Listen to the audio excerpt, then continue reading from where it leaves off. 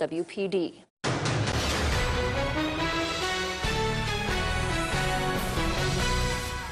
The men and women who want to be Wichita's next mayor met with voters today. KSN's Derek Lytle learned what questions some of those voters had for the candidates. Derek? Jeff, a few dozen voters gathered at Botanica today to have a small group discussion with the candidates for mayor.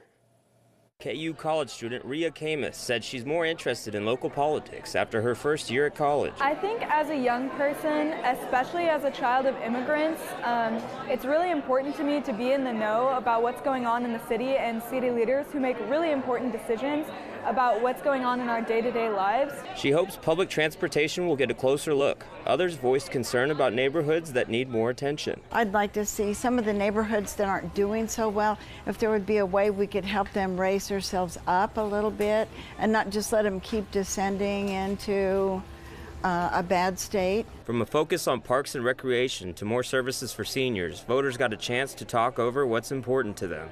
I want someone that's going to be a public servant. I want someone that's going to be concerned about myself, me. I don't want someone that's going to be working for some special interest groups. And that's the thing. Voting is everything. If you don't vote, you can't complain. Those I talked to said it was a great opportunity to have a personal discussion with the candidates before they cast their vote. Here for you, Derek Lytle, KSN News 3. McPherson resident